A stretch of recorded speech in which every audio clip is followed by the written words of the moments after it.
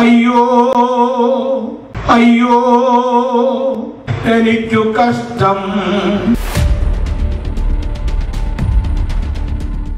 നിങ്ങൾക്കല്ല ഞങ്ങൾക്കാണ് കഷ്ടം. ഓരോ പദവികളിലേക്കും ഉദ്യോഗാർത്ഥികളെ സെലക്ട് ചെയ്യുമ്പോൾ അവർക്ക് ആ പദവികൾ വഹിക്കുവാൻ പറ്റിയ സ്വഭാവ സവിശേഷതകൾ ഉണ്ടായിരിക്കണം. ഫോർ എക്സാമ്പിൾ ഡിഫൻസിലേക്ക് ഓഫീസേഴ്സ് കാറ്റഗറിയിലേക്ക് റിക്രൂട്ട് ചെയ്യുമ്പോൾ ഒ എൽ ക്യു ഉണ്ടോ എന്നാണ് സർവീസ് സെലക്ഷൻ ബോർഡ് നോക്കുന്നത്. അതായത് ഓഫീസേഴ്സ് ലൈക്ക് ക്വാളിറ്റീസ്. അതില്ലാത്തവന് ഒരിക്കലും ആ പദവിയിൽ ശോഭിക്കുവാൻ കഴിയില്ല. വൻ ദുരന്തമാകുകയും ചെയ്യും. ഒരു ക്രൈസിസ് ഉണ്ടാകുമ്പോൾ ഇവരുടെ വാക്കുകൾ കേട്ടാണ് ജവാന്മാർ മരണഭയം വെടിഞ്ഞ് മുന്നേറുന്നത്. അതുപോലെ പൗരോഹിത്യ ജീവിതത്തിലേക്ക് കടക്കുന്ന വ്യക്തികളുടെ P L Q priest like qualities ആരെങ്കിലും ചെക്ക് ചെയ്യാറുണ്ടോ? അങ്ങനെ ഒരു മാനദണ്ഡം ഏതെങ്കിലും ഒരു സഭ ഉണ്ടാക്കിയിട്ടുണ്ടോ? എന്റെ അറിവിലില്ല. ഏതോ ആണുങ്ങൾ എഴുതിയ കുറേ വാക്യങ്ങളും പ്രാർത്ഥനയും ക്രമവും പഠിച്ചാൽ ഒരുത്തൻ കത്തനാരായി അവൻ മൂത്ത് ബിഷപ്പാകും അവൻ മൂത്ത് കർദിനാളായി അങ്ങനെ പോകുന്നു. എല്ലാ ശൂന്യതകളും മറയ്ക്കുവാൻ പറ്റിയ പല കളറുകളിൽ നൈറ്റിയും ഇടയ്ക്കൊരു കെട്ടും. അതുപോലെ മാതാവ് കരഞ്ഞ് കാൽ പിടിച്ച് രണ്ടാം തവണ മെത്രാനായ കരിമാങ്കുഴി മെത്രാന്റെ പുകിലുകൾ നാം കണ്ടുകൊണ്ടിരിക്കുകയാണ്. വൈദിക വൃത്തിക്ക് പറ്റാത്തവരെ പിടിച്ച് നൈറ്റി ഇടിയിപ്പിച്ചാൽ വിശ്വാസികൾക്ക് സഭയിലുള്ള വിശ്വാസം മാത്രമല്ല ദൈവത്തിലുള്ള വിശ്വാസം തന്നെ നഷ്ടപ്പെടും എന്നതിന്റെ ഒരു ഉത്തമ ഉദാഹരണം ഞങ്ങൾ കാണിച്ചു തരാൻ ശ്രമിക്കുകയാണ്. എവിടെ ചെന്നാലും എന്ത് ചെയ്താലും പണി മേടിക്കുന്ന ഞങ്ങളുടെ കരിമാങ്കുഴി മുത്രാൻ. നിന്നെ ആര് വിളിച്ചടാ മലക്കര സഭയുടെ കാര്യം പറയാൻ? നീ ആരാടാ ഈ സഭയിൽ? നിനക്ക് എന്തോ നടക്കുന്ന ദണ്ണം? ഞാൻ ഒന്ന് തന്നോടൊന്ന് ചോദിച്ചോട്ടെ? മലങ്കര സഭ നിന്റെ തന്തയുടെ വകയാണോ? അയ്യോ അയ്യോ. എനിക്കു കഷ്ടം. അതുകൊണ്ട് എന്നെ ഉളവാസ് എന്നാ വിളിക്കുന്നത്? ഉദാഹരണത്തിന്. അറിയില്ലാത്തവർക്ക് ഞാനത് പറഞ്ഞു തരാം. അന്ന് ഉമ്മൻചാണ്ടിയെ വിരട്ടി ക്ഷമിച്ചു. ഇന്ന് പിണറായിയെ വിരട്ടി പണി മേടിച്ചു. മുഖ്യമന്ത്രിക്ക് തെറ്റി.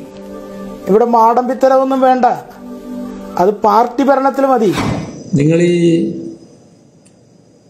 ധരിക്കുന്ന വേഷത്തിന് അനുസരിച്ചല്ലാത്ത സമീപനം ശവത്തിനോട് സ്വീകരിക്കാൻ തയ്യാറായി. അയ്യോ അയ്യോ എനിക്കു കഷ്ടം. സഭയുടെ വൈദികന്റെ കുപ്പായത്തെ ചോദ്യം ചെയ്യുന്ന രീതിയിൽ. മാത്രമല്ല മുഴുവൻ അസത്യമല്ലേ പറഞ്ഞത്? പക്ഷേ എന്താ നമ്മൾ കണ്ടത്? ആ ശവം പിടിച്ചു വലിക്കുക രണ്ടു മൂന്നാഴ്ച കിടക്കുക അവിടെ. സംസ്കരിക്കാൻ പറ്റുന്നില്ല. ഇവരെ ചില തർക്കങ്ങൾ കാരണം.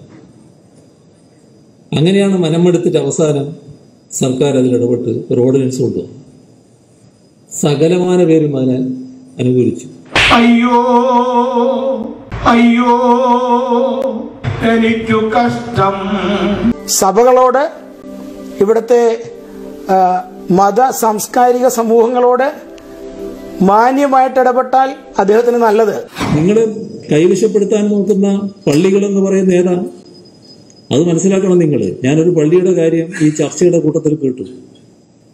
ആ കേട്ടത് അവിടെയുള്ള കുടുംബങ്ങളിൽ മൂന്ന് കുടുംബമാണ് നിങ്ങളുടെ വിഭാഗം. അയ്യോ അയ്യോ എനിക്കു കഷ്ടം.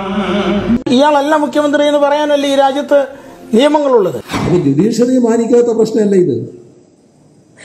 ആ ജുഡീഷ്യറിയുടെ തീരുമാനത്തിൽ നിന്നുകൊണ്ട് തന്നെ എങ്ങനെ പരസ്പരം ചർച്ച ചെയ്ത് കാര്യങ്ങൾ പരിഹരിക്കാൻ പറ്റുമെന്ന് നോക്കണം. അതാണ് ഉണ്ടായത്.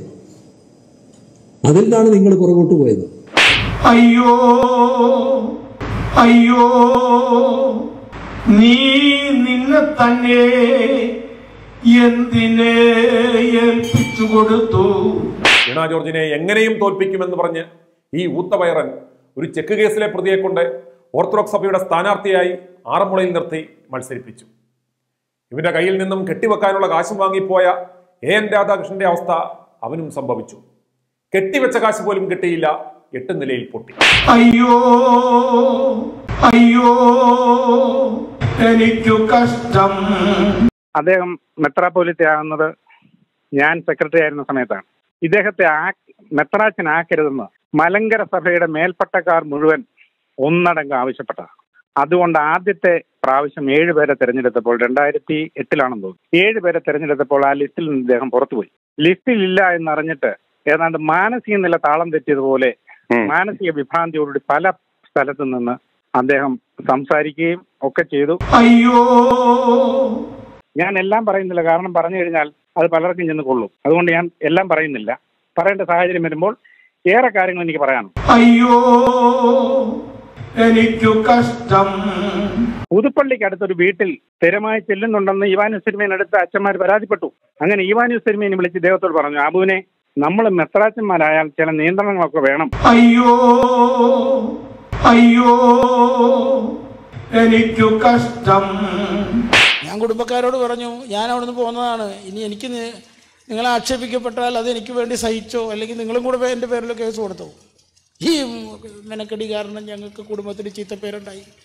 പത്തനംതിട്ടയിൽ വീണ ജോർജിനെതിരെ ഓർത്തഡോക്സ് സഭയുടെ യുവജന പ്രസ്ഥാനത്തിന്റെ പേരിൽ പോസ്റ്റർ ഒട്ടിച്ച കേസിലെ പ്രതികളെ തെളിവുകളുടെ അടിസ്ഥാനത്തിൽ പോലീസ് പിടിച്ച സംഭവത്തിൽ ഒരാവശ്യവുമില്ലാതെ കയറി ഇടപെട്ട് കുത്തിത്തിരിപ്പുണ്ടാക്കുവാൻ ശ്രമിച്ചു ഈ മലങ്കര മറന്നു. ഒരു പോസ്റ്റർ ഒട്ടിച്ചതിന്റെ പേരിൽ ഒരു യുവാവിന്റെ വീട്ടിലേക്ക് അവനാണോ ഒട്ടിച്ചതെന്നുള്ള സംശയത്തിൽ അവന്റെ കാറ് സി സി ടി വിയിൽ കണ്ടു എന്ന് പറഞ്ഞുകൊണ്ട് എഴുപത് പോലീസുകാരും രണ്ട് ഡി വൈ എസ് പിയും ഒക്കെ മിനിഞ്ഞാന്ന് കയറി ചെന്നാലും നിങ്ങൾക്ക് ഒരു മനപ്രയാസം ഇല്ലല്ലോ അതിൽ അത് അത് മനുഷ്യാവകാശ ലംഘനമല്ലേ? ഒരു പതിനൊന്ന് വയസ്സുകാരനെ മദ്ബഹയിൽ നിന്ന് പോലീസിനെ കൊണ്ട് പിടിച്ചിറക്കി വിട്ട ഊളയാണ് ഇത് പറയുന്നതെന്ന് ഓർക്കണം.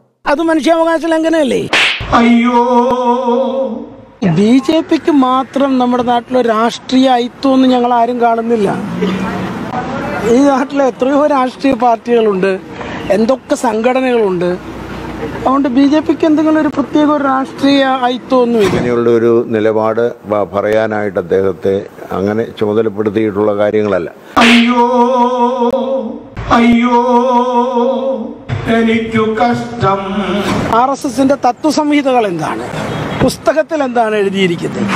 ആർ എസ് എസിന്റെ ഇപ്പോഴത്തെ പ്രവർത്തന മണ്ഡലങ്ങൾ എന്താ? അവിടെ കുഴപ്പമുണ്ടോ? ഇവിടെ കുഴപ്പമുണ്ടോ? ആ വിധത്തിലല്ല ഞങ്ങൾ ഞാൻ സംസാരിക്കുന്നത്. മറിച്ച് ആർ എസ് എസിന്റെ അപ്പോഴാണ് രാഷ്ട്രീയ സ്വയം സേവക് സംഘ്.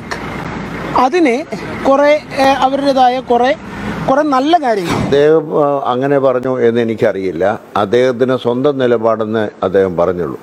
ആ, സഭയുടെ നിലപാട് അതാണ് എന്ന് അദ്ദേഹത്തിന് പറയാൻ സാധിക്കുമോ എന്ന് എനിക്കറിയില്ല. അങ്ങനെയുള്ള ഒരു നിലപാട് പറയാനായിട്ട് അദ്ദേഹത്തെ അങ്ങനെ ചുമതലപ്പെടുത്തിയിട്ടുള്ള കാര്യങ്ങളല്ല. ഞങ്ങൾ ഓർത്തഡോക്സ് സഭയുടെ ഒരു സിദ്ധാന്തമുണ്ട്.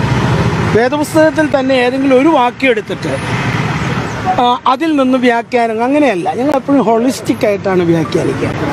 സഭയുടെ ഒരു നിലപാട് പറയണമെങ്കിൽ അതിന് സഭ ഔദ്യോഗികമായിട്ട് സഭയുടെ സുന്നക ദിവസമോ മാനേജിംഗ് കമ്മിറ്റിയോ ഒക്കെ കൂടി അങ്ങനെ ഒരു നിലപാടെടുക്കേണ്ട ഒരു സാഹചര്യം വന്നാലേ എടുക്കും. അയ്യോ അയ്യോ എനിക്കു കഷ്ടം. ആ സഭയുടെ ചില കാര്യങ്ങളിൽ സഭയുടെ അഭിപ്രായം ഇത് തന്നെയാണെന്ന് ആണ് എന്റെ ബോധ്യം. അത്രയും എന്റെ അർത്ഥമുള്ളൂ. അയ്യോ അയ്യോ എനിക്കു കഷ്ടം. ലൈറ്റി ചേട്ടാ ഇനിയെങ്കിലും ഒന്ന് നന്നാകാൻ നോക്കാം. Eye to eye news an eye for truth.